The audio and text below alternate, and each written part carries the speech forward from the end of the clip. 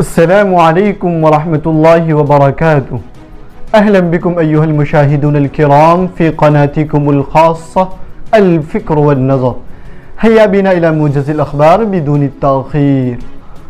قال وزير الخارجية الإيراني حسين أمير عبد اللهيان إن وزارته تعمل على تجهيز السفارة والقنصلية الإيرانيتين في السعودية بهدف إعادة فتحهما موضحا أن هذه الإجراءات ستنتهي خلال الأيام المقبلة.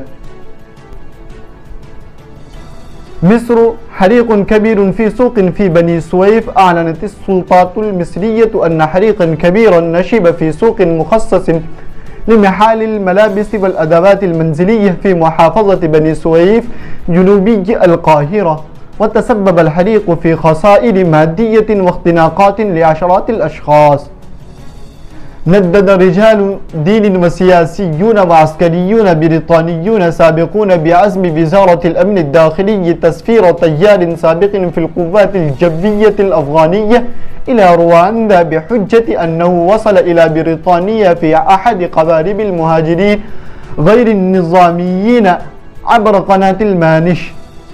رئيس وزراء باكستان السابق دعا إلى احتجاجات على مستوى البلاد مساء الأحد لكنها فشلت إلى حد كبير في مسقط رأسه مدينة لاهور التي انتقل إليها بعد إطلاق سراحه يحيى فلسطينيون ومناصرون للقضية الفلسطينية اليوم الذكرى 75 للنكبة وكلهم تصميم وتمسك بحقهم في العودة إلى وطنهم المسلوب.